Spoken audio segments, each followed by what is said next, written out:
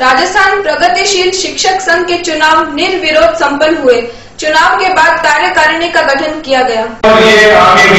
जारी रहेगा कुछ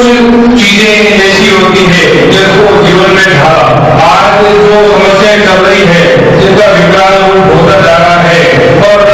शिक्षकों के लिए जो समस्या बनती रह रही है, मिलकर सफलता प्राप्त नहीं हो से बुलाया गया था और एक बात जो मददगार